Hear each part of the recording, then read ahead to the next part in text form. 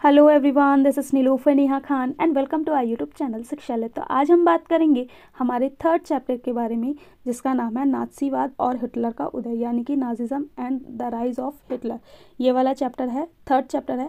देखिए, जो अभी तक आपको लेक्चर प्रोवाइड करे फ़र्स्ट फ़र्स्ट जो चैप्टर था हमारा फ्रांसीसी क्रांति का था, जो कि मेरे हैंड रिटन नोट्स का ही था। लेकिन सेकेंड चैप्टर में मैंने आपको पूरी एन e पढ़ाई थी, जिसमें कि कई बच्चों को कई कन्फ्यूज़न क्रिएट हो गई। इसी वजह से हम कंटिन्यू करेंगे अपने नोट्स के साथ। क्यों? क्योंकि ज़्यादातर बच्चे नोट्स के साथ ही क्लासेस चाहते हैं। अब मैं आपको एक चीज़ क्लियर करना चाहूँगी कि इस टॉपिक में हम किन किन सब टॉपिक्स के बारे में बात करेंगे। अगर आप अपना सिलेबस देखेंगे तो उसमें नाजिज़म जो चैप्टर दे रखा है टॉपिक जो दे रखा है, उसमें कुछ सब दे रखे हैं, ठीक है? जिसमें कि बर्थ ऑफ़ वाइमर रिपब्लिक का, यानी कि वाइमर गणराज्य का उदय, पहला टॉपिक दे रखा है। दूसरा आपका टॉपिक सब दे रखा है हिटलर का उदय, ठीक है? यानी कि हिटलर राइज ऑफ़ पावर उसका उदय और उसकी शक्तियाँ, ठीक है? फिर उसके बाद जो आपका टॉपिक दे रखा है द नाजी वर्ल्ड व्यू ठीक है? यानी कि नाजियों का नाजी जो थे, उनका वर्ल्ड वाइड क्या व्यू था? वो किस तरीके से दुनिया को देख रहे थे? ठीक है? और किस तरीके से अपने आप को दिखाना चाह रहे थे? ठीक है? तीसरा चौथा जो है यूथ इन नाजी जर्मनी तो जो यूथ था, यानी कि युवाओं की क्या स्थिति थी? ठीक है, इसमें एक टॉपिक हम और पढ़ेंगे। वो था महिलाओं की स्थिति। वो आपके सिलेबस में नहीं दे रखा, लेकिन आपका महिलाओं की स्थिति से question hundred and one percent आता ही है तो इसलिए मैंने उसे भी ऐड ऑन कर दिया। उसके बाद, इसके बाद जो आपका है कि जो इनका प्रोपेगेंडा था नाथसियों का, ठीक है यानी कि कह लीजिए, जो इन्होंने ये गैस चैम चैम्बर बनाए थे, और काफ़ी चीज़ें जो एक कहते हैं ना मानवता के खिलाफ की थी उनके खिलाफ। तो लास्ट हमारा वो वाला टॉपिक रहेगा। उन सभी के बारे में हम बात करेंगे। और हाँ एक चीज़ मैं आपकी क्लियर करना चाहूँगी कि चाहे आप हिंदी मीडियम से हों चाहे आप इंग्लिश मीडियम से हों ये नोट्स दोनों के लिए ही उतने ही यूज़फुल रहेंगे। ठीक है? और रही बात आ, आ, समझने की तो मैं बीच बीच में आपके टर्म्स इंग्लिश में यूज़ कर लूँगी। ठीक है? ताकि आपको कोई इशू ना हो, ठीक है? तो अब हम अपना शुरू करते हैं चैप्टर। देखिए, चैप्टर शुरू करने से पहले ना एक नाथसीवाद और हिटलर। देखिए नाथसीवाद एक विचारधारा है और हिटलर हिटलर को, हिटलर एक तरीके से ना, जिसने इस विचारधारा को फैलाया और इस विचारधारा का उदय किया, उसमें सबसे इंपॉर्टेंट रोल प्ले हिटलर करता है। ठीक है? तो इसीलिए हमारा नाथसीवाद और हिटलर दोनों का ही टॉपिक बहुत ज़्यादा इंपॉर्टेंट रोल प्ले करता है। लेकिन अगर आप किसी भी टॉपिक को पढ़ने से पहले उसकी परिस्थितियों को समझ लेंगे ना तो आपको टॉपिक पूरा समझ आ जाएगा। आप टॉपिक को समझेंगे कैसे? देखिए, जब प्रथम विश्व युद्ध हुआ था हाँ एक चीज़ और मैं आपको बता दूँ कि जो फ़र्स्ट वर्ल्ड वॉर है ना, और सेकेंड वर्ल्ड वॉर ठीक है? दोनों का ही है ना आपके फ़र्स्ट वर्ल्ड वॉर का तो सेकेंड चैप्टर में भी डिस्कशन था थोड़ा सा और सेकेंड वर्ल्ड वॉर का आपका थर्ड चैप्टर में भी है, ठीक है? तो ये दोनों ना टेल टॉपिक हैं और इनसे क्वेश्चन आते ही आते हैं तो इस, इनका है ना मैं थोड़ा सा आपको अलग से एक टॉपिक या तो कल प्रोवाइड कर देती हूँ या फिर परसों, ठीक है? डिपेंड करेगा, ठीक है? तो उस ये टॉपिक मैं अलग से प्रोवाइड करूँगी ताकि आप उनको थोड़ा सा अच्छी तरीके से चीज़ें कर लें। और हाँ ये याद रखिएगा, फ़र्स्ट वर्ल्ड वॉर और सेकेंड वर्ल्ड वॉर से क्वेश्चन आते हैं, ठीक है? तो इस चीज़ को बिल्कुल भी निगलेक्ट नहीं करना। अब यहाँ पर हम बात कर रहे थे नाथसीवाद की। यानी कि कह लीजिए, एक हिटलर नाथसीवाद का उदय कैसे हुआ या फिर कह लीजिए, हिटलर का किस तरीके से उदय हुआ? अगर आप इन परिस्थितियों को समझ जाएँगे तो आपको आधी चीज़ें तो यहीं समझ आने लग जाएँगी। क्यों? देखिए कॉन्सेप्ट पे अगर काम करेंगे तो एग्ज़ाम में आपसे किस भी, किसी भी तरीके से क्वेश्चन आ जाए। आप हेजिटेट नहीं होंगे, ठीक है? लेकिन अगर आप रटाफिकेशन करेंगे तो चीज़ें आपके लिए थोड़ी सी मुश्किल होती चली जाएँगी। तो सबसे बड़ा जो मेन कह लीजिए ना मेन कारण जो माना जाता है नाथसीवाद और हिटलर के उदय का, वो माना जाता है प्रथम विश्व युद्ध ठीक है? तो प्रथम विश्व युद्ध एक बारी मैं आपको बता देती हूँ ओवरव्यू दे देती हूँ। प्रथम विश्व युद्ध आपका 1914 से 1980 तक चला, ठीक है? लगभग चार सालों तक ये युद्ध हुआ और इसने काफ़ी मतलब आर्थिक रूप से भी और मानसिक रूप से भी हर तरीके से विश्व को प्रभावित किया था। और यहाँ पर जर्मनी की क्या एक स्थिति थी कि जर्मनी पे ही सारा दोष लगा दिया था कि जर्मनी की वजह से ही प्रथम विश्व युद्ध हुआ, ठीक है? और प्रथम विश्व युद्ध होने के कारणों को अगर आप पढ़ेंगे तो देखिए, मित्र राष्ट्र और जो आपका प्रथम विश्व युद्ध था, ये दो गुटों के बीच में हुआ। कौन कौन से? मित्र राष्ट्र और केंद्रीय शक्तियाँ। अब इनमें भी मुख्य कौन कौन थे? जैसे कि मित्र राष्ट्रों में आपका फ्रांस, ब्रिटेन, रूस और केंद्रीय शक्तियों में आपका जर्मनी, ऑस्ट्रिया और तुर्की। ठीक है? बाद में और भी देश ऐड हुए लेकिन उन चीज़ों को आप थोड़ा सा लेके चलिए। लेकिन ये तो आपको याद ना होना चाहिए कि मित्र राष्ट्रों में कौन कौन से थे और के, केंद्र राष्ट्रों में कौन कौन से थे ठीक है?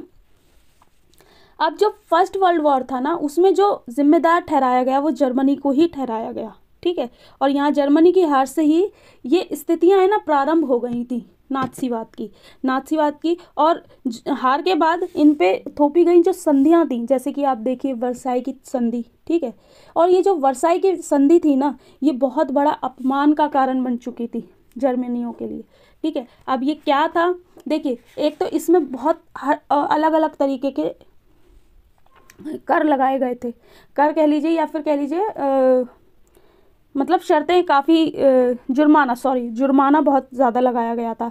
जैसे कि जर्मनी के सारे उपनिवेश जो थे ना, दस परसेंट आबादी वाले, ठीक है, तेरह परसेंट भूभाग सेवेंटी फाइव परसेंट लोहा भंडार और ट्वेंटी सिक्स परसेंट कोयला भंडार पर मित्र राष्ट्रों का मतलब कब्जा हो गया था। उन्होंने आपस में उसे बांट लिया था, ठीक है। दूसरी चीज़ जर्मनी को कमज़ोर करने के लिए उसकी सेना को भंग कर दिया था। मतलब उसकी सेना की जो शक्तियाँ थी ना, उसे भी भंग करने कर दिया था। युद्ध अपराध बोध के तहत छः अरब पौंड का जुर्माना था इसके अंतर्गत, ठीक है? और ये जो वर्साई की संधि है ना, ये ये कह लीजिए पूरे जो एक विचारधारा कह लीजिए या फिर हिटलर की कह लीजिए, ये कहीं ना कहीं पूरी जर्मनी पे सबसे बड़ा एक है ना, अपमान वाली बात थी। और ये जो छः अरब पाउंड का जो एक तो जुर्माना जो लगाया गया था, ठीक है? और युद्ध की क्षति के लिए सिर्फ़ सिर्फ़ और सिर्फ़ जर्मनी को ही गलत ठहरा देना, ठीक है? इसके लिए लोगों का एक है ना, नज़रिया चेंज हो चुका था सरकार की तरफ़ से। देखिए, अगर किसी भी देश की अगर अंतर्राष्ट्रीय स्तर पर लोगों को ये महसूस होने लग जाए कि हमारे देश का अपमान हुआ है, ठीक है? लोगों में घृणा आने लग जाए, अपने देश की सरकार को लेकर, अपने लोगों को लेकर, हैं? लोग डिस्क्रिमिनेट करने लग जाएँ चीज़ों को तो वहाँ से ना चीज़ें ख़राब होनी शुरू होने लग जाती हैं। और इन्हीं चीज़ों का फ़ायदा उठाते हुए हिटलर ने अपने आप खुद का एक कह लीजिए कि हिटलर का उदय हुआ इन्हीं परिस्थितियों में। ठीक है? और इन्हीं परिस्थितियों का फ़ायदा उठाते हुए हिटलर ने अपने आप को इतना शक्तिशाली बना लिया कि आप अगर इस चैप्टर को पूरा पढ़ेंगे ना तो आपको एग्जैक्ट पता चलेगा कि लोगों के साथ कि, किस बर्बरता के साथ लोगों के साथ बुरा किया गया। ठीक है? लोगों को मतलब जानवरों के साथ भी इस तरीके का सलूक नहीं होता था, जिस तरीके की यहूदियों के साथ सलूक किया गया, जिप्सियों के साथ सलूक किया गया। मानसिक रूप से जो बेचारे विकलांग बच्चे थे, जो कि जर्मनी के ही थे, ठीक है? जर्मनी के नागरिक थे। उन लोगों, सत्तर हज़ार लोगों को मारा गया था। तो इन सब चीज़ों को जब आप देखेंगे ना, आप समझेंगे तो एग्जैक्ट आपको पता चलेगा। देखिए फैक्ट्स तो आपको याद होने ही होने चाहिए। लेकिन परिस्थितियाँ आपको याद हो गई ना तो फैक्ट्स आप अंदाजे से भी लगा लोगे। क्यों? क्योंकि एक सीक्वेंस वाइज आप चीज़ें करते जाएँगे ना तो आपको चीज़ें समझ आने लग जाएँगी। अब वर्साई की संधि मैंने आपको बता दी। वर्साई की संधि में क्या क्या हुआ? एक तो युद्ध का सारा हरजाना जर्मनी पे तोप दिया गया, ठीक है? और जर्मनी के सारे उपनिवेश की दस परसेंट आबादी, ठीक है? तेरह परसेंट भूभाग, सेवेंटी फाइव परसेंट लोह भंडार और ट्वेंटी सिक्स परसेंट कोयला भंडार को मित्र राष्ट्रों में आपस में बांट लिया था। आप समझ रहे हो इस चीज़ का? कितना बड़ा अपमान था जर्मनी के लिए ये। ठीक है? फिर उसके बाद छः अरब पौंड का, जुर्माना उन पर, ठीक है? इन्हीं परिस्थितियों में हुआ वाइमर गणराज्य का उदय, ठीक है? इन्हीं परिस्थितियों में वाइमर गणराज्य का उदय हुआ क्योंकि जो जर्मनी का राजा था, उसने अपने पद से इस्तीफा दे चुका था और उसने अपने आप को बिल्कुल साइड कर लिया था। यहीं पर वाइमर अच्छा हाँ एक चीज़ मैं बता दूँ, वाइमर एक जगह का नाम है, ठीक है, जहाँ पर ये हुआ था, ठीक है? तो वाइमरगढ़ राज्य की स्थापना हुई। अब इन्हीं परिस्थितियों में आप समझ सकते हो कि जो शासक है, सम्राट है, वो यहाँ से जा चुका है। एक तरीके से उसने तो हाथ खड़े कर दिए। अब किसी को तो सरकार संभालनी थी तो यहाँ से उदय होता है वाइमर गणराज्य का, ठीक है? अब इन्होंने ही ये कह लीजिए कि इन्होंने तो अपने देश को एक स्थित एक स्थिरता में लाने के लिए या फिर कह लीजिए कि अपनी स्थिति को अच्छा करने के लिए, अपने देश को संभालने के लिए सरकार का गठन किया गया। लेकिन क्या हुआ, इससे इम्पैक्ट क्या पड़ा कि जब वाइमर गणराज्य उदय हुआ तो उन्होंने शुरुआत में सबसे पहले उन्हें वर्साई की संधि पर हस्ताक्षर करना पड़ा। और वर्साई की संधि ही एक अपमान का कारण थी, क्योंकि जो जर्मनी के लोग थे, उनके मन में ये घृणा आ चुकी थी कि वर्साई की संधि एक बहुत बड़ा अपमान है जर्मनियों के लिए, ठीक है? दूसरी चीज़, देखिए, यहाँ पर वाइमर गणराज्य की शुरुआत वर्साई की संधि के साथ हुई, जिसने जर्मनी की हार का खामियाजा भुगता और और सारी समस्याओं का सामना करा, ठीक है? तो यहाँ पर आप एक चीज़ समझ सकते हैं कि एक तो लोगों के, लोगों की स्थिति पहले से ही युद्ध की वजह से ख़राब थी, ठीक है? युद्ध। और दूसरी स्थिति ये खराब होने पे आ गई थी कि वर्षाई की जो संधि लोगों पर थोपी गई थी, वो लोगों पर बहुत ज़्यादा हावी हो रही थी, ठीक है? उसके बाद क्या क्या हुआ देखिए वाइमर गणराज्य, ये हमारा सब टॉपिक वन है, ठीक है? जो कि आपके सिलेबस में दे रखा है। और प्लीज़ आप लोगों से रिक्वेस्ट है, अपना सिलेबस लेके बैठा करें। और अगर किसी बच्चे ने अपना सिलेबस लिखा नहीं है ना कॉपी पे या कहीं टांगा नहीं है तो प्लीज़ आप लोगों से रिक्वेस्ट है भाई, इसे लिख लीजिए कहीं और डेली जो भी टॉपिक मैं कराती हूँ उन्हें देख लीजिए टिक करते जाइए और थोड़ा सा अपनी सेल्फ स्टडी भी कीजिए, ठीक है? क्योंकि मैंने आपको एक चीज़ बता दी कि सेल्फ स्टडी बहुत इंपॉर्टेंट रोल पर प्ले करेगी आपकी प्रिपरेशन में, ठीक है? वायुमन गणराज्य ने ही वर्साई की संधि पर हस्ताक्षर किए, इसलिए इस अपमान का जनक जनक संधि इस अपमानजनक संधि के लिए वायुमन गणराज्य को ही जिम्मेदार ठहराया। अब जैसे कि आप ये समझिए ना कि वायुमन गणराज्य ने इस संधि पर हस्ताक्षर किया और इसीलिए जर्मनी के जो लोग थे, उन्होंने उसे जिम्मेदार ठहरा दिया। ठीक है? क्योंकि सम्राट तो अपने आप में रिज़ाइन करके जा चुका था अपनी मतलब अपनी शक्तियों को त्याग चुका था। ठीक है? तो वायुमन गणराज्य की इन परिस्थितियों में हुआ। ठीक है? तो वायुमन गणराज्य को युद्ध का हरजाना तो देना ही पड़ा, जिसकी वजह से क्या हुआ? आर्थिक संकट उत्पन्न हो पड़ा। जैसे कि आपको पता ही है कि युद्ध के बाद की जो स्थितियाँ थी, वो पूरे विश्व में खराब थी, ठीक है? और एज़ यूजल जर्मनी में भी ख़राब थी, लेकिन इनकी स्थिति और ख़राब कैसे हुई कि जो ये वर्साई की संधि थोपी गई थी, ठीक है? और जो इस पर ऐसे ऐसे शर्तें लगा दी गई थी, जो कि किसी भी अर्थव्यवस्था की कमर तोड़ सकती थी, ठीक है? क्यों? क्योंकि आप समझ ही सकते हैं कि इतने ज़्यादा शर्तें, ठीक है, जो आर्थिक स्थिति थी, वो कहीं ना कहीं अब ख़राब हो चुकी थी जर्मनी की। इसी का ही क्या हुआ कि दो उन्नीस में जर्मनी ने अब फिर कर्ज चुकाने से मना कर दिया, क्योंकि उसका आर्थिक संकट ही इतना उत्पन्न हो चुका था कि बेरोज़गारी, ठीक है, लोग भुखमरी से मर रहे थे, लोगों के पास काम नहीं था, लोगों के पास खाने के लिए पैसे नहीं थे, जो एक कहते हैं ना, पाव रोटो चीज़ों की कीमतें भर चुकी थी। तो 1923 में जर्मनी ने कर्ज चुकाने से ही मना कर दिया, ठीक है? अब यहाँ पर भी, अब जब उसने चुकाने से, उसने अपने आप को दिवालिया घोषित कर दिया। लेकिन यहाँ पर भी जो ये फ्रांसीसी थे, इन्होंने एक तरीके से इतना मतलब गलत किया और जर्मनियों के साथ कि क्या किया? जो जर्मनी का मुख्य औद्योगिक इलाका था ना, रूर ठीक है? उस पर कब्जा कर लिया और उसके विशाल कोयले भंडार जो थे कोयला के जो भंडार थे ना उन्हें अपने आ, अपने अपने आ, अपने तरफ़ कर लिया ठीक है? तो यहाँ से है ना ये जो आप समझ सकते हो कि देश की जनता भूख भूखी मर रही है ठीक है? अब इधर से जो लोगों की परिस्थितियाँ हैं जो आम जनता थी वो ऐसी परिस्थितियों में मतलब लोग क्या किस तरीके से लोगों के लिए विश्व के लिए किस तरीके से एक मैसेज जा रहा था? ठीक है? तो ये सारी चीज़ों में अब हिटलर जो था ना ये इन्हीं परिस्थितियों का वो फ़ायदा उठाएगा। अब इसी के ही बात क्या हुआ? हाँ एक और चीज़ जो ए, आर्थिक स्थिति से निपटने के लिए जो अमेरिका था उसने डॉप्स योजना के तहत जो जर्मनी को काफ़ी सारा कर्ज दिया। ठीक है? कर्ज भी दिया, दूसरी चीज़ जो वर्साई की संधि थी, उस पर दोबारा से विचार करने का प्रस्ताव रखा गया। लेकिन एक चीज़ याद रखना कि यहाँ पर यह क्वेश्चन ज़रूर पूछा जाता है कि अमेरिका ने किस योजना के तहत जर्मनी की सहायता की थी। तो डॉफ्स योजना, ये ये लिख लीजिए कहीं, ठीक है? बाकी मैं आपको नोट्स में दे दूँगी सारी चीज़ें। डोफ्स योजना के तहत।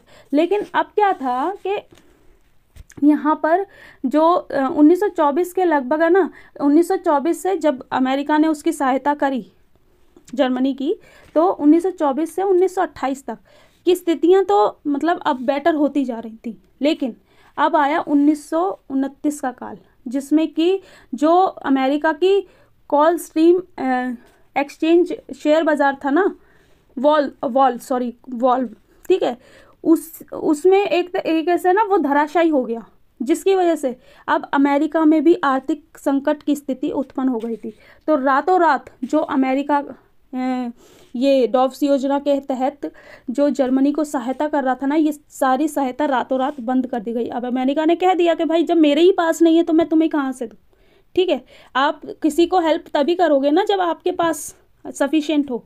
ठीक है, अब अमेरिका की स्थिति इतनी ख़राब होने लगी अब यहाँ पर इस तरीके से क्या हुआ कि ये जो चार सालों में जो चीज़ें थोड़ी बहुत बेहतर हुई थी ना, ये फिर से डाउन जाने लगी और लोगों के लिए इतना मतलब इतना ज़्यादा कठिन समय ये था कि लोग एक तरीके से लाइन लगाकर, अपने गले में तख्ती लगाकर बैठ जाते थे कि मैं कोई भी काम कर सकता हूँ और मुझे काम दे दो। ठीक है? इस तरीके के आप एन जब पढ़ेगो ना तो आपको कई फ़ोटोज़ दिखाई देंगे। ठीक है? तो आप इस, इन परिस्थितियों को अगर समझेंगे ना तो आपको पता चलेगा कि लोगों की स्थिति कितनी दयनीय हो गई थी, ठीक है? फिर उसके बाद, मैं जैसे कि इन्हें अति मुद्रा स्मृति स्मृति का सामना करना पड़ा, ठीक है? अभी मैंने आपको बता दिया ना, जब शेयर मार्केट बहुत ज़्यादा मतलब कीमतें बहुत बढ़ जाएँ, ठीक है?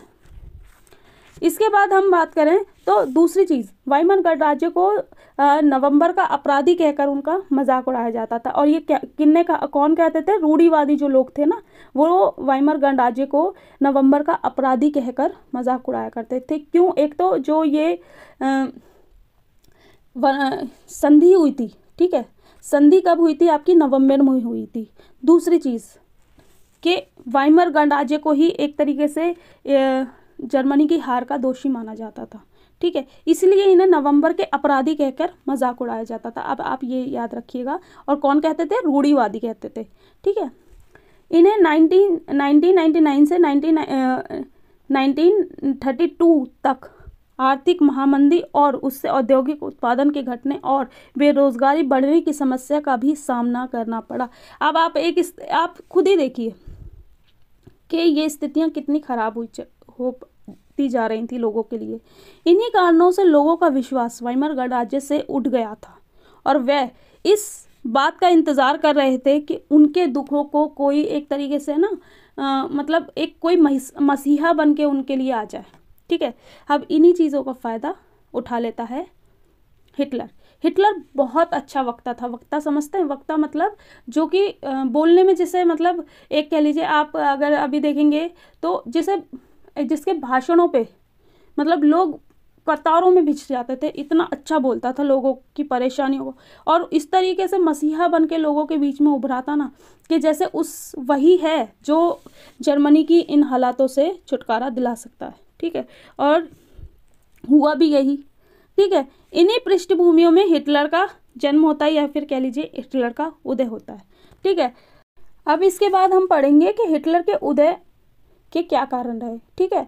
तो हिटलर का उदय जानने से पहले आप इसकी है ना थोड़ी सी परिस्थितियों को समझ लीजिए। जै, जैसे कि हिटलर का जो जन्म था ना वो ऑस्ट्रिया में eighteen ninety eighteen eighty nine में हुआ था ठीक है? और ऑस्ट्रिया में हुआ और स्टार्टिंग में इसने क्या करा जर्मन जर्मन सेना में ये भर्ती हो गया क्योंकि गरीबी में गरीब परिवार का था और गरीब स्थितियाँ इतनी ख़राब थी कि इसे कुछ ना कुछ काम चाहिए था जिसकी वजह से इसने सेना में ज्वाइन हो गया था। और जो प्रथम वश प्रथम विश्व युद्ध था उसमें इसने संदेह वाहक की भूमिका निभाई थी। ठीक है? अब आप समझ सकते हो कि जो ये वर्साई की संधि थी या फिर ये जो जुर्माना था इनकी वजह से ही सब कुछ हो रहा था। अब इस यही जो चीज़ें थी वहाँ की जन, जनता को तो इफ़ेक्ट कर रही थी लेकिन जो सेना के लोग थे ठीक है? आप समझ सकते हैं ना, जो सेना में होता है, उसके लिए अपना देश कितना प्रिय होता है। उसके लिए तो बहुत ज़्यादा इम्पोर्टेंट रोल प्ले करता है हमारे देश का मान सम्मान। तो यही चीज़ थी हिटलर के साथ। ठीक है, हिटलर को ये चीज़ें बिल्कुल भी पसंद नहीं आई थी कि एक तो ये जो जर्मनी पे सारा जुर्माना थोप दिया गया था और हार का जो एक कह लीजिए ना, हार के लिए जो जर्मनी को जिम्मेदार ठहराया था और वायरसाई की संधि। ठीक है? अब क्या होता है कि इसके, जैसे कि संदेश वाक का ये काम करता था, इसी में ही इसने कई मतलब अच्छा काम करता था और बोलता बहुत अच्छा था। एक चीज़, इसकी क्वालिटी क्या थी? ये बोलता बहुत अच्छा था। लोग जब जब ये भाषण देता था ना तो लाखों की संख्या में लोग इसके लिए आते थे। और इनके ना प्रचार करने की भी एक अलग ही टेक्निक थी। वो आगे मैं बताऊँगी आपको, ठीक है? और फिर इसने सेना से ही अपना एक जर्मन वर्कर्स पार्टी में में इसने ज्वाइन कर लिया। ठीक है? मतलब फिर उसी पार्टी में ये प्रमुख नेता बना, जिसे आगे चल के नाथसी पार्टी कहा गया। ठीक है? ये याद रखिएगा। नाथसी पार्टी पहले क्या नाम था इसका? German workers party. ठीक है? ये याद रखिएगा। और नेशनल सोशलिस्ट पार्टी थी ये, जिसका आगे चलकर इसी को ही नाथसी पार्टी के नाम से जाना गया। ठीक है? अब तेरह जन, तीस जनवरी 1933 में हिटलर को चांसलर बनाया गया ठीक है? अब जैसे कि ये बहुत अच्छा वक्ता था वक्ता समझते हैं कि मतलब जो बोलने में जैसे महारत हासिल हो एक तरीके से मतलब अपनी बातों से ही वो सामने वाले को इतना तृप्त कर दे कि वो उसकी बातों में हाँ समझे कि हाँ भाई मतलब कि यही है हमारा करता धरता यही है जो हमें आगे लेके जाएगा। और यही प्रोपेगेंडा था इन लोगों का, जो नाथसी पार्टी वाले थे। इन्होंने इसी तरीके से हिटलर को एक मसीहा के रूप में जर्मन वासियों के सामने रखा, ठीक है? अब इन परिस्थितियों में फिर क्या हुआ कि 30 जनवरी 1933 में, लिख लीजिएगा कहीं 30 जनवरी 1933 में हिटलर को चांसलर बनाया गया जर्मनी का। अब ये चांसलर कौन होते हैं? जैसे हमारे यहाँ प्रधानमंत्री होते हैं ना, उनके हाथ में पूरी पावर होगी तो ऐसे ही वहाँ पर चांसलर होते हैं, ठीक है? और 1933 में क्या हुआ कि कुछ देखिए उन्नीस तीस जनवरी 1933 में इसने चांसलर पद संभाला और 28 फरवरी को इसने अग्नि अध्यादेश जारी कर दिया गया, जारी कर दिया, जिसे फायर डिग्री कहते हैं, ठीक है? फायर डिग्री से लास्ट ईयर अगर आपने जो डीएसएसबी का पेपर देखा होगा तो उसमें क्वेश्चन पूछा गया था फायर डिग्री से क्या तात्पर्य या अग्नि अध्यादेश क्या था, ठीक है? तो इसमें क्या करा, इसमें जो अग्नि अध्यादेश था, इसमें इसने दो चेंजेस बहुत ज़्यादा बड़े थे। एक तो जो लोगों की अभिव्यक्ति की आज़ादी थी ना इसे छीन लिया। लोगों लोग अब ना तो प्रेस की स्वतंत्रता थी ठीक है और ना ही आ, किसी भी प्रकार की स्वतंत्रता थी ना लोगों के जो कह लीजिए जो मौलिक अधिकार थे उन्हें छीन लिया गया था और आपातकाल की स्थिति आपातकाल लगा दिया ठीक है अनलिमिटेड टाइम के लिए यानी कि मतलब अब उसी के हाथ में था। दूसरा एक आर्टिकल था इसमें आर्टिकल फोर्टी एट ए अनुच्छेद, ठीक है? अनुच्छेद फोर्टी एट ए जिसमें कि इसके पास ऐसी ताकतें थी कि ये अब जो सारी शक्तियाँ ना अपने हाथ में, अपने अकॉर्डिंग ले सकता था और इसने उसी का ही फ़ायदा उठाया। अब क्या हुआ? ये सारी चीज़ें करते करते करते करते, आप देखिए, एक महीने के अंदर अंदर तीस जनवरी को वो चांसलर बना है और अट्ठाईस फरवरी को उसने अग्नि अध्यादेश जारी कर दिया। इन्हीं परिस्थितियों में ये कह लीजिए, लोगों का जो अब पता नहीं वो किस तरीके से उत्थान करना चाहता था या फिर पता नहीं किस तरीके से चीज़ों को लेके चल रहा था कि उसने अपनी जो जनता है ना, उसकी बहुत दूर कहते हैं ना, दुर्गति की थी, दशा बहुत ख़राब कर दी थी। अब क्या हुआ कि हिटलर का उदय के कारण क्या क्या थे? कि एक तो वर्षाई की संधि, ठीक है, और उसकी शर्तें। अब मैंने ये आपको समझा दिया, अब दोबारा नहीं समझाऊँगी। दूसरी चीज़ क्या हुई? वायुमन गणराज्य की स्थिति और कमजोरियाँ, ठीक है। तीसरी, आर्थिक महामंदी। चौथी, बेरोजगारी। पांचवी सर्वहारा करण का भय। अब ये ये समझा देती हूँ, क्योंकि बाकी चीज़ें तो आपको समझ आ गई होंगी, लेकिन सर्वहाराकरण मतलब लोगों को अब ये डर लगने लग गया था कि हम कहीं मजदूर बनकर ही ना रह जाएँ, ठीक है। हम क्या कहते हैं, लोग हम पे शासन करेंगे और हम कहीं मजदूर बनकर ही विश्व में स्थापित ना हो जाए। और छठी क्या था? Nazi propaganda. ठीक है। इन्होंने यहूदियों को इस तरीके से दिखाना शुरू किया था कि लोगों को ऐसा लगने लगा था कि सारी फसाद की जो जड़ है ना, वो यहूदी, जिप्सी और ये जो विकलांग बच्चे थे, यही है। फिर इसके बाद परिवर्तनवादियों और समाजवादियों के बीच में आपसी फूट, जो आपसी फूट थी, ये भी बहुत इम्पोर्टेंट थी, ठीक है? अब इन्हीं सब चीज़ों को ध्यान में रखते हुए हिटलर का उदय होता है और हिटलर इन्हीं सब चीज़ों की वजह से अपने कह लीजिए, उदय तो लोगों ने सोचा था कि लोगों का उत्थान होगा, लेकिन अब जो हिटलर था, उसने और चीज़ें ख़राब कर दी थी लोगों के लिए और परिस्थितियाँ बहुत ख़राब हो गई थी। जैसे नाथसियों का विश्व दृष्टिकोण क्या था? देखिए, इसमें अगर हम बात करें नस्लीय श्रेष्ठता की, ठीक है, शुद्ध नॉर्डिक आर्यन। अब आप एक चीज़ समझिए कि जो ये था, हिटलर था, हिटलर एक वैज्ञानिक थे जिन्होंने कह लीजिए नस्लीय श्रेष्ठता का सिद्धांत दिया था, ठीक है, लेकिन उन्होंने ना वो जानवरों, पौधों इन सब के उस पर दिया था। लेकिन इसने क्या करा? इसी को ही बेस बनाते हुए लोगों पे ये स्थापित कर दिया नस्ली श्रेष्ठता। ठीक है? अब इसने क्या कहा कि जो नॉर्डिक आर्यन है ना, वही सर्वश्रेष्ठ है, नीली आँखें जिनकी हैं। ठीक है? और जो और जो बाकी जैसे यहूदी हैं, जिप्सी हैं, ठीक है? ये बिल्कुल निचले पायदान पे, सबसे निचले पे यहूदियों को रखा, फिर बाद में और और लोगों को भी रखा, लेकिन सबसे निचले पे यहूदी थे और सबसे ऊँचे पे आपके ये नॉर्डिक आर्यन हो गए, ठीक है? जैसे कि आप समझिए ब्राह्मण और शूद्रों की बात की जा रही है, ठीक है? लेकिन यहाँ तो वर्ण व्यवस्था में और उन हिटलर की एक वर्ण व्यवस्था में अलग ही चेंजेस थे। यहाँ इस तरीके की परिस्थितियाँ यहाँ भी खराब थी, लेकिन इस तरीके की परिस्थितियाँ नहीं थी कि लोगों को जीने के अधिकार से ही वंचित कर दिया जाए।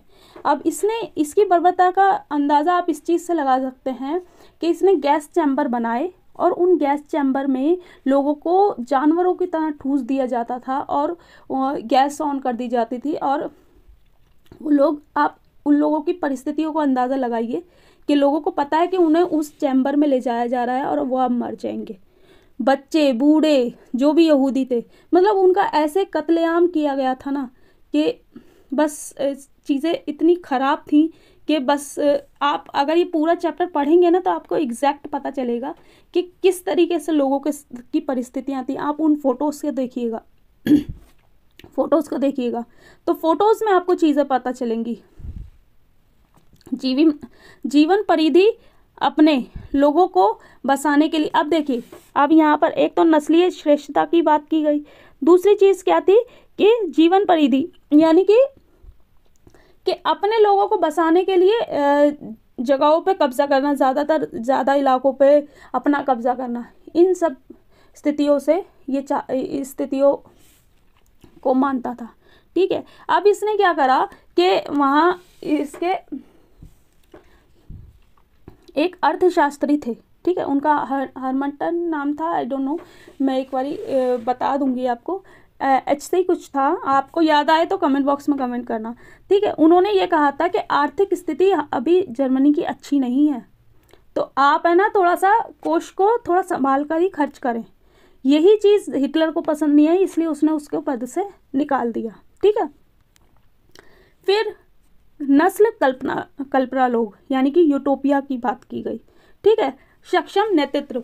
यानी कि लोगों को इस तरीके से ये प्रेजेंट किया गया कि भाई जितना, जो हिटलर है ना, हिटलर के अलावा आपको कोई भी, आपका कोई भी उत्थान नहीं कर सकता, ठीक है?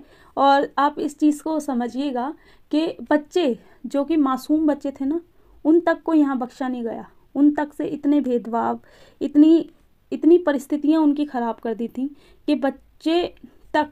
आपने स्टार्टिंग में एनसीईआरटी में हेलमंटन की स्टोरी पढ़ी होगी, जिसमें कि युद्ध के बाद उसका बाप जो उसके पिता थे, उन्होंने आत्महत्या कर ली, ठीक है? तो ये सारी चीज़ें बता रही थी कि लोगों की क्या स्थितियाँ थीं उस समय, और राष्ट्रीय समाजवाद का उदय, ठीक है?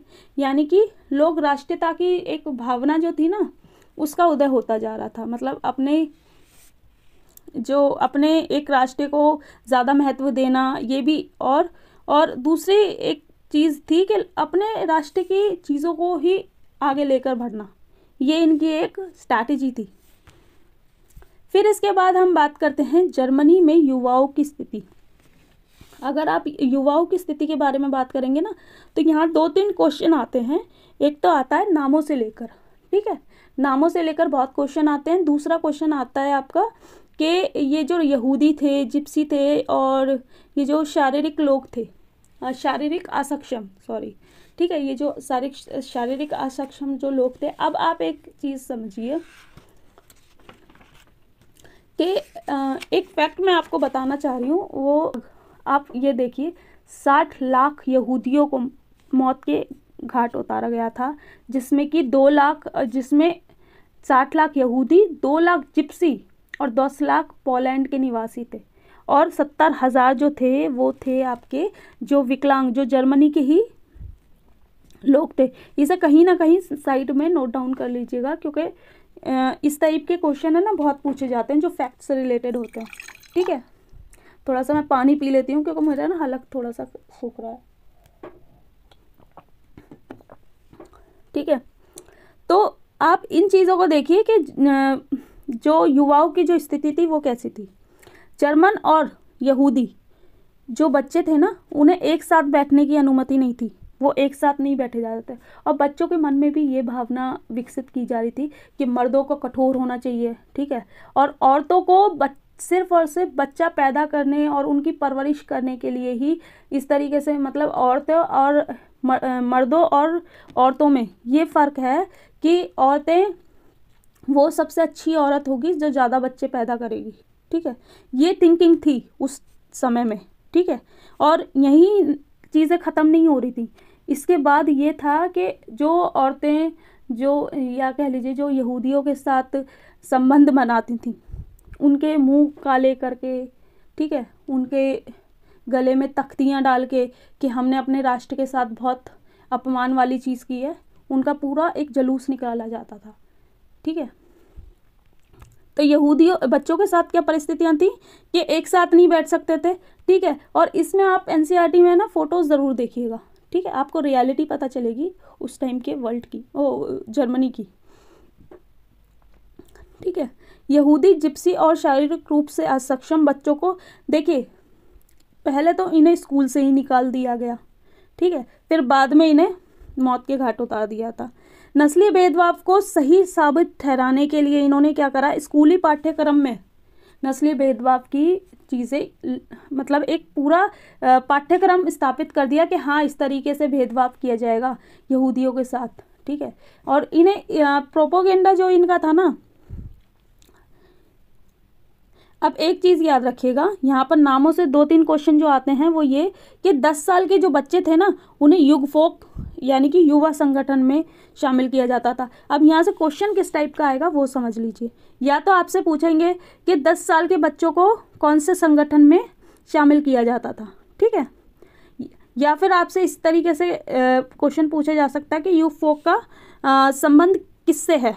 तो दस साल के बच्चों को आ, इस युवा संगठन था ये एक जिसमें कि शामिल किया जाता था ताकि उन्हें ट्रेन किया जा सके कि किस तरीके से कठोर बनना है।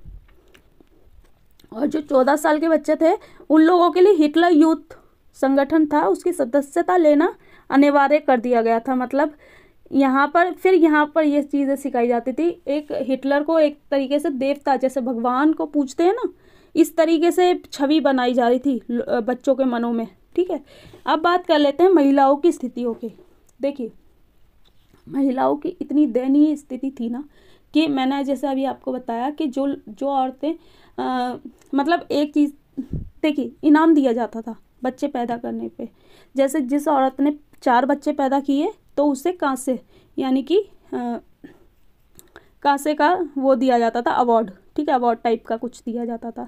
जो छः बच्चे पैदा करती थी, उसे चांदी का दिया जाता था, और जो आठ से ज़्यादा बच्चे, आठ या आठ से ज़्यादा बच्चे पैदा करती थी, उसे सोने का अवार्ड दिया जाता था। दूसरी चीज़, यहाँ पर उन महिलाओं को अलग अलग तरीके के लिए सम्मान दिए जाते थे। जैसे सैनिकों को अलग अलग सम्मान दिए जाते थे ना, ऐसे ही महिलाओं को बच्चे पैदा करने के लिए अलग अलग सम्मान दिए जाते थे। और देखिए, जैसे कि चार बच्चों के लिए क्या था? कांसे का अवार्ड था छः बच्चों के लिए चांदी का था और आठ बच्चों के लिए आपका सोने वाला था। ठीक है, और जो महिलाएँ, ये कह लीजिए या फिर जो स्त्रियाँ अच्छे बच्चे पैदा नहीं कर पाती थी, यानी कि जैसे कि मान लीजिए किसी औरत का अपंग बच्चा हुआ है, ठीक है? तो उनके साथ भी यही बर्ताव होता था। उनके उनके मतलब उनका मुँह काला करके मतलब ऐसा कहा, इस तरीके की परिस्थितियाँ उत्पन्न कर दी जाती थी कि महिलाओं का एक तरीके से ना सिर्फ़ बच्चा पैदा करने की मशीन बना दिया था महिलाओं को, ठीक है?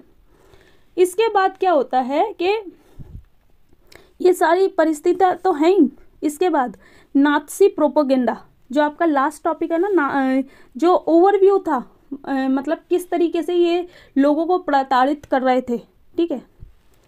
अब ये जो था नाथसी प्रोपेगेंडा इसमें इवैक्यूएशन इवैक्यूएशन एक स्कीम थी जिसके में ना लोगों को गैस चैम्बरों तक ले जाया जाता था ठीक है? ताकि उन्हें मारा जा सके इकट्ठे लाखों आप ये देखिए, सरकारी, ये जो मैंने अभी जो आपके आंकड़े बताए थे ना, ये सरकारी थे, ठीक है, जो सरकार की नज़र में थे, और जो बेचारे जिनका आंकड़े ही नहीं है, क्योंकि इतने रिकॉर्ड, रिकॉर्डों में भी आपको पता है कितने छेड़छाड़ी होती है, कि साठ लाख यहूदी, ठीक है, दस लाख पोलैंड के निवासी, दो लाख जिप्सी, सत्तर हज़ार विकलांग व्यक्ति, आप अंदाज़ा भी नहीं लगा सकते कि ये कितने कितने लोग थे, ठीक है मतलब जिनका रिकॉर्ड ही नहीं है, ठीक है? अब यहूदियों की छवियाँ। अब इनको प्रोपेगेंडा क्या था कि यहूदियों को है ना इतना, एक, एकदम ऐसे दिखा देना कि इन्हीं की वजह से हमारी, हमारे साथ इतने जुल्म हुए, ठीक है? ये हमेशा मतलब जो यहूदी होते थे, इन लोगों ने हमेशा जर्मन वासियों को सताया है। ठीक है? ऐसे ऐसे पोस्टर बनाए जाते थे जिसमें कि यहूदी पैसों के ऊपर बैठा हुआ है और जर्मन, जो जर्मन लोग थे, वो उसके नीचे इधर इर्द गिर्द बैठे हुए हैं। ठीक है? और इसमें एक फ़िल्म का नाम बहुत आता है, द इंटरनल ज्यू। ठीक है?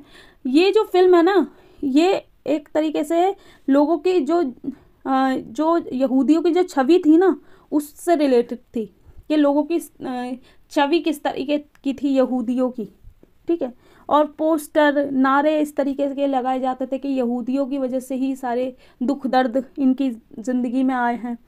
ठीक है, तीसरा जो मेन फीचर था, देखिए मीडिया कहते हैं ना कि मीडिया जो हर एक लोकतंत्र का चौथा स्तंभ इसलिए ही नहीं कहते कहते मीडिया को। मीडिया को इसलिए भी कहा जाता है क्योंकि मीडिया पूरे देश के सामने जो सरकार होती है ना, उनकी स्थितियाँ सामने लाता है। तो इसलिए, लेकिन इसने जो हिटलर है ना, हिटलर ने इसी का ही फ़ायदा उठना, उठाया। उसने मीडिया का फ़ायदा उठाया। मीडिया से इस तरीके के प्रचार कराया कि उसकी गलत चीज़ों पे भी लोगों को ये महसूस होने लगा था कि हाँ हमारा मसीहा यही है। ठीक है? अब यहाँ पर दो तीन चीज़ों के बात बात करती हूँ मैं। जैसे कि, यहाँ दो तीन शब्द आपके बहुत बहुत बहुत ज़्यादा यूज़ होते हैं। एक होता है अंतिम समाधान और एक होता है यूथ नेजिया देखिए, अंतिम समाधान का तात्पर्य यहूदियों से था जब जब मतलब सामूहिक रूप से यहूदियों को मौत दी जाती थी ना, या कह लीजिए उन्हें मारा जाता था तो उसका, उसके लिए शब्द क्या यूज़ करते थे? ये न्यूज़ चैनल में होता था। अंतिम समाधान। और ये जो यूथ नेजिया है यूथ नेजिया जो विकलांग बच्चे थे ना, जो कि मानसिक रूप से मतलब असक्षम व्यक्ति थे या फिर शारीरिक रूप से असक्षम थे तो उनके लिए यूथ नेजिया इनके लिए क्या करते थे कि इन्हें इन्हें भी एक साथ हज़ारों की संख्या में मौत के घाट उतार दिया जाता था।